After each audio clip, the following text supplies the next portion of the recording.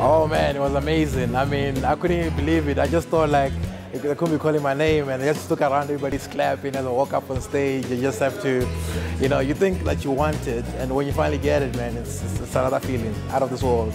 Our app is revolutionary. It streamlines the music creation process from recording, distribution and promoting by allowing artists to raise finance from a community of fan investors, all for a share of music rights. So that's basically uh, what it does. It's, it's, it's, simple, it's clear, it's direct.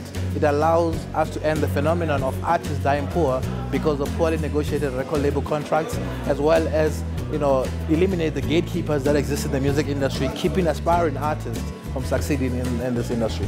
Uh, so the next plan is to roll out a prototype to a beachhead market over the six months, get feedback, clean up the, the, the, the, the, the app, and then implement it to a wider scale in South Africa. Uh, we plan to expand to Nigeria and Kenya, so watch the space. Uh, you can follow us at Sangame Music on Twitter and Facebook, uh, as well as sangame.com uh, is our website. Thank you so much to MIT. Thank you so much to Wits University. Thank you so much to JCSE. I mean, we came with an idea and now we have a working MVP. I mean, over a period of one month, amazing stuff. Thank you so much. I'll forever treasure it in my life. Thank you.